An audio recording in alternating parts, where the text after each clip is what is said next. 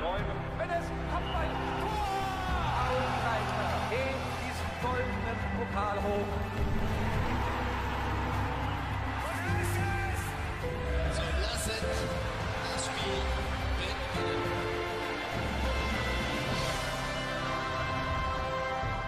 Ja, hallo meine lieben Fußballfreunde, herzlich willkommen zur Vorschau der zweiten Runde im DFB-Pokal in der Saison 2014-2015. Ja, die zweite Runde beginnt dann am Dienstag, dem 28. Oktober, ja, und zwar um 19 Uhr. Ja, und das erste Spiel, das da stattfindet, ist Chemnitz gegen Werder Bremen. Ja, das ist ein wirklich sehr interessantes Duell. Die Chemnitzer spielen in der dritten Liga und ja, sind äh, ja vorne dabei. Die dritte Liga ja ziemlich sehr ausgeglichen und sehr eng. Aber Chemnitz wirklich ein sehr guter Start und ähm, ja, sie spielen auf alle Fälle um den Aufstieg in die zweite Liga mit. Auf der anderen Seite Werder Bremen, jetzt Tabellenletzter, haben jetzt nach der Heimniederlage gegen Köln Trainer Robin Dutt entlassen. Ja, vorerst übernehmen werden Viktor Skripnik und Thorsten Frings, zwei altbekannte Werder-Spieler. Ähm, ich denke, ja, eigentlich müsste hier Werder Bremen der Favorit sein, da sie ja, äh, ja zwei Ligen über Chemnitz spielen, aber ich traue es den Chemnitzern zu, da auf alle Fälle mitzuhalten. Sie haben auch den Heimvorteil. Äh, trotzdem glaube ich, dass ähm, ja die, dieser Trainerwechsel, glaube ich, bei den Bremen ähm, ja einiges auslösen wird. Ich denke, die Bremer werden ähm, ja ein anderes Gesicht zeigen, glaube ich, als jetzt zuletzt in der Liga und hier einen hart umkämpften Auswärtssieg bei den Chemnitzern feiern. Ja, dann kommen wir zum nächsten Spiel, das äh, um 19 Uhr stattfindet. Und zwar empfangen die Kickers Offenbach den Karlsruher SC. Ja, die Kickers aus Offenbach mittlerweile in der vierten Liga tätig. Ähm, ja, auch eigentlich ähm, ja ein Traditionsverein, aber jetzt zuletzt lief es nicht so gut. Auf der anderen Seite der Karlsruhe SC aus der zweiten Liga, ja spielen dort eine ja relativ gute Rolle, sind ähm, im äh, ja im Mittelfeld in der Tabelle.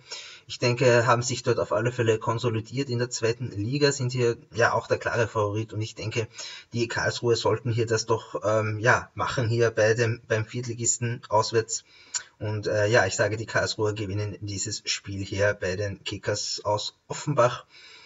Ja, dann äh, das nächste Spiel und zwar Arminia Bielefeld empfängt die Hertha BSC. Ähm, ja, Bielefeld in der dritten Liga. Auch die Bielefelder sind da ja im oberen Teil der Tabelle in der dritten Liga. Also sie spielen da auch um den Aufstieg mit.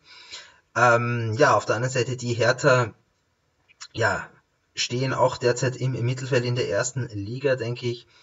Ähm, ja, zuletzt äh, in den Spielen lief es ein bisschen besser. Ja, auch zuletzt äh, klarer 3 zu 0 haben sie gegen den HSV. Ähm, sie sind ja der klare Favorit, würde ich sagen. Äh, trotzdem glaube ich, dass Bielefeld hier durchaus eine Überraschung schaffen kann. Äh, ja, aber ich tippe trotzdem hier auf einen knappen Auswärtssieg von der Hertha. Ja, und dann das letzte Spiel, das am äh, ja, am Dienstag, dem 28. Oktober um 19 Uhr stattfindet, ist dann der VfR Aalen empfängt Hannover 96. Ja, Aalen ja in der zweiten Liga spielen da eher gegen den Abstieg, sind da im unteren Teil der Tabelle zu finden. Auf der anderen Seite Hannover ähm, ja, jetzt zuletzt mit einem äh, großen Überraschungserfolg auswärts bei den äh, Dortmundern. Ja, die Hannoveraner haben ja auswärts so ihre Probleme. Trotzdem glaube ich, dass sie hier bei einem ja, Abstiegskandidaten in der zweiten Liga jedoch äh, ja, äh, gewinnen sollten und deswegen tippe ich hier doch ja auf einen kleinen Sieg hier von Hannover 96. Ja, dann finden dann auch noch ähm, ja vier Spiele um 20.30 Uhr statt am 28. Oktober, den Dienstag.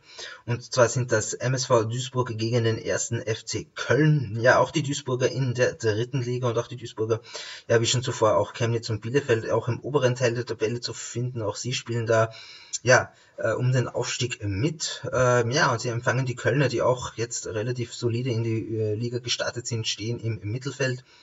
Wird sicherlich auch ein interessantes Duell. Trotzdem, ja, muss man hier auch die Kölner klar favorisieren, dass sie zwei Ligen ähm, über den Duisburgern platziert sind. Ähm, auch hier könnte ich mir ein durchaus enges Spiel vorstellen. Ja, am Ende denke ich, werden sich hier die Kölner knapp bei Duisburg durchsetzen. Ja, dann das nächste Spiel und zwar Dynamo Dresden empfängt den VfL Bochum. Ja, und auch bei den die Dresdner in der dritten Liga im oberen Teil der Tabelle zu finden. Auch sie äh, ja, spielen da um den Aufstieg mit. Ähm, stehen da recht gut da. Ja, die Bochumer sind eigentlich nach einem wirklich sehr guten Start in die Saison jetzt zuletzt ja, ähm, aufgrund vieler Unentschieden jetzt doch ins Mittelfeld abgerutscht. Ähm, zuletzt lief es nicht ganz so gut, trotzdem sind die Bochumer hier der Favorit. Ähm, ja, aber ich traue den Dresdner vor allem, haben die ja wirklich ein sehr euphorisches Heimpublikum. Da traue ich den Dresdner auf alle Fälle äh, ja einen Überraschungserfolg zu. Ähm, trotzdem glaube ich, dass sich hier die Bochumer aufgrund ihrer Qualität dann doch äh, knapp durchsetzen werden und hier auswärts bei Dresden gewinnen werden.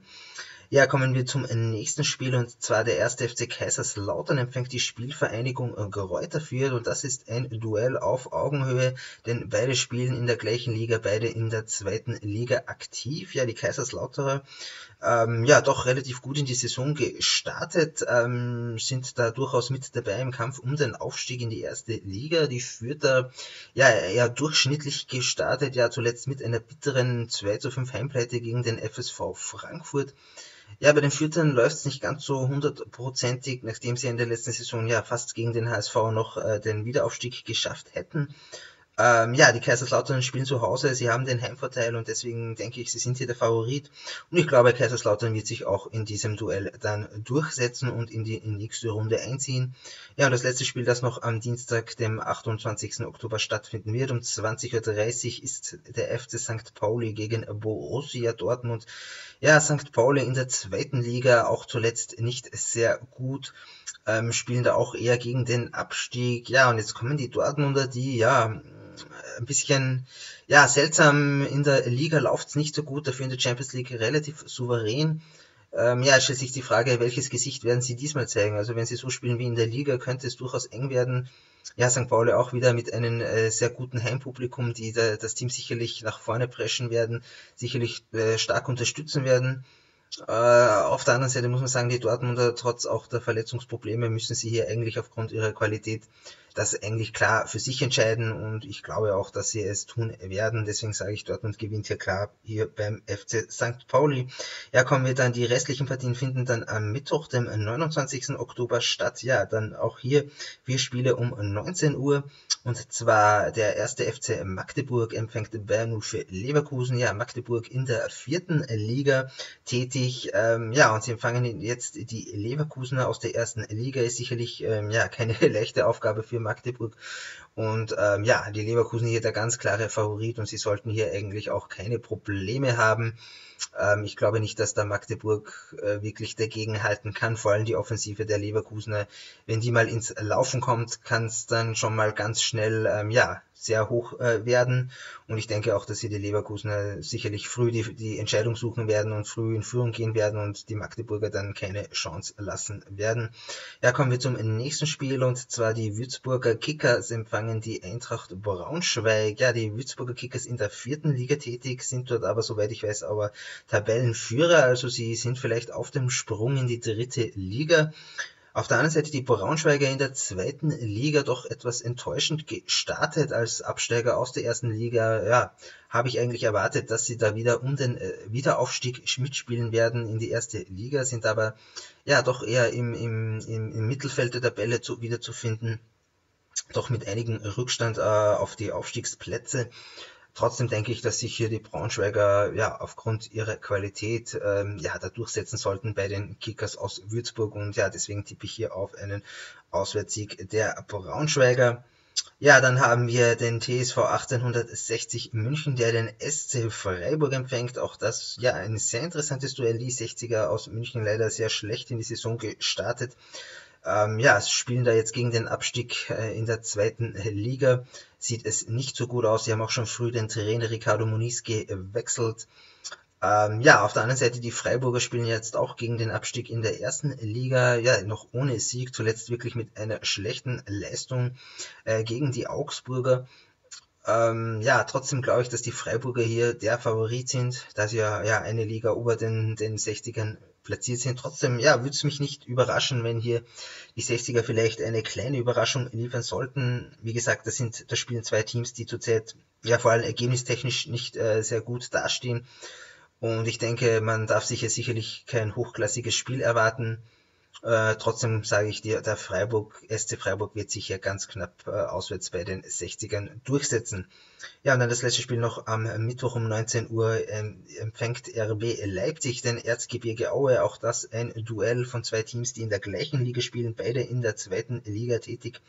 Ja, und RB Leipzig, ähm, für einige sicherlich nicht überraschend, sind auch vorne dabei um den Aufstieg in die erste Liga. Ja, werden ja von Red Bull unterstützt finanziell und ähm, ja, haben dadurch einen sehr guten Kader zur Verfügung. Auf der anderen Seite Erzgebirge Aue eigentlich ja sehr schlecht in die Saison gestartet. Ja, und dann hat man sehr früh ähm, ja, äh, den Trainer Falco Götz entlassen und der neue Trainer ähm, ja, hat ordentlich Schwung gebracht, äh, muss man sagen. Die Auer dann, ähm, ja, konnten wirklich ähm, dann besser spielen, hatten dann auch ihre Heimspiele gewonnen und haben sich da jetzt zumindest ähm, punktemäßig verbessert und es steht jetzt nicht mehr ganz so schlecht da. Trotzdem muss man sagen, RB Leipzig spielt zu Hause, sie sind hier doch der Favorit aufgrund des Heimvorteils. Ähm, es könnte durchaus interessant werden, wenn Aue da lange die Null hinten hält, aber trotzdem glaube ich, dass sich am Ende äh, Leipzig hier durchsetzen wird. Ja, dann kommen wir zu den Spielen um 20.30 Uhr, also am Mittwoch, dem 29. Oktober. Und zwar ein Bundesliga-Duell und zwar empfängt der HSV den FC Bayern München. Ja, auch das ein Duell. Ja, eigentlich beide spielen in der gleichen Liga, aber es ist äh, sicherlich nicht auf Augenhöhe. Der HSV natürlich, ähm, ja, spielt jetzt gegen den Abstieg, hat zuletzt ja, ja, vielleicht die schlechteste Leistung unter dem neuen Trainer Zinnbauer beim, bei der Auswärtsniederlage gegen Hertha abgeliefert. Ja, auffallend ist, dass der HSV vor allem offensiv äh, wirklich Probleme hat, da ähm, ja, Tore zu erzielen, ihre Chancen zu nutzen. Ja, und das ist natürlich kein gutes Zeichen, wenn es jetzt gegen so eine absolute Topmannschaft wie die Bayern geht. Ja, die einzige Chance für die Hamburger besteht, wenn die Bayern vielleicht ähm, zu überheblich agieren werden, zu arrogant und sie unterschätzen werden. Aber ich denke, das wird nicht der Fall sein. Die Bayern werden hier ja wieder souverän auftreten und hier ja einen klaren Auswärtssieg bei den Hamburgern feiern. Ja, kommen wir zum nächsten Spiel und zwar empfängt die TSG 1899 Hoffenheim den FSV Frankfurt. Ja, das ist auch ein ungleiches Duell. Der Hoffenheimer in der ersten Liga bis jetzt noch ungeschlagen, sind da ja auf äh, Europa League Kurs eigentlich, äh, ja, oder internationale äh, Bewerbkurs. Auf der anderen Seite der FSV Frankfurt doch eher ja im unteren Drittel der Tabelle der zweiten Liga zu finden, obwohl sie jetzt ja einen starken 5 zu 2 Auswärtssieg bei Kräuter Fürth feiern konnten. Äh, trotz alledem, ja, sie müssen hier auswärts antreten, sind hier der klare Außenseiter und die Hoffenheimer sollten hier eigentlich nichts anbrennen lassen und hier einen klaren Heimsieg gegen die äh, FSV Frankfurt feiern. Ja, gehen wir zum nächsten Spiel und zwar da empfängt der VfL Wolfsburg den ersten FC Heidenheim. Ja, und das ähnlich wie auch beim Hoffenheim-Spiel. Auch hier der Erstligist mit Heimvorteil gegen den Zweitligisten. Ähm, ja, und auch hier die Wolfsburger der klare Favorit, wobei man sagen muss, der erste FC Heidenheim als Aufsteiger von der dritten in die zweite Liga haben sich bis jetzt sehr gut präsentiert, haben eigentlich mit dem Abstieg nichts zu tun. Ähm, Wobei man auch sagen muss, dass Heidenheim die meisten Punkte zu Hause geholt haben. Also zu Hause sind sie doch um eine Spur stärker. Deswegen, ja, eigentlich schade, dass dieses Spiel in Wolfsburg stattfindet, denn wenn das Spiel in Heidenheim gewesen wäre, wäre es sicherlich um einiges spannender gewesen, denn da hätten die Heidenheimer wirklich ihren Heimvorteil nutzen können. Aber so ähm, ja, findet das Spiel in Wolfsburg statt und deswegen glaube ich, dass hier sich der VfL dann doch durchsetzen wird. Ja, und das letzte Spiel in dieser zweiten Runde des DFB-Pokals ist dann der, die Eintracht Frankfurt empfängt Borussia Mönchengladbach. Auch das ein Bundesliga-Duell und das sicherlich auch ein sehr gutes. Ja, die Eintracht Frankfurt eigentlich doch ja relativ gut in die Saison gestartet unter dem neuen Trainer Thomas Schaaf hat sich konsolidiert, aber wie gesagt, zuletzt jetzt eine bittere 4 zu 5 Heimpleite gegen den VfB Stuttgart. Ja, und auf der anderen Seite die Gladbacher wirklich sehr stark in die Saison gestartet, auf dem zweiten Tabellenplatz äh, bis jetzt und auch in der Europa League relativ souverän. Ähm, ja, aufgrund der bisherigen Leistungen muss man hier die Gladbacher favorisieren, aber ich denke, aufgrund des Heimvorteils der Frankfurter, denke ich, dass wir hier durchaus ein ähm, ausgeglichenes und interessantes Fußballspiel sehen werden. Ja, es könnte durchaus ähm, ja, in die Verlängerung gehen Ähm, ja, und dann im Elfmeterschießen wird dann ähm, ja, das Glück wieder entscheiden. Deswegen ist es schwer hier vorauszusagen. Aber ich sage einfach mal, dass die Gladbacher aufgrund ihrer Form, aufgrund ihrer Qualität ähm, ja leicht zu favorisieren sind und hier einen ganz knappen Auswärtssieg feiern werden. Ja, das war jetzt äh, meine Vorschau jetzt zu dieser zweiten Runde im DFB-Pokal in der Saison 2014-2015. Ja, und jetzt meine Frage an euch, was tippt ihr? Wie glaubt ihr, werden diese Spiele ausgehen? Schreibt es unten in den Kommentaren. Ich würde mich freuen über ein Abo und bedanke mich fürs Zuhören und sage Tschüss, euer Little Piccolo.